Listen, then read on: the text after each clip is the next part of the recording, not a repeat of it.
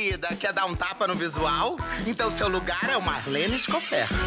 Olha o estado que eu tô, meu Deus, eu tô parecendo uma bruxa. Um ambiente sofisticado e discreto. Será que vocês poderiam parar de ficar falando coisinhas sobre o meu núcleo familiar?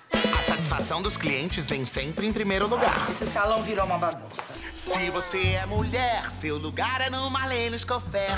Não tente, não invente. Aqui, a chapa é quente.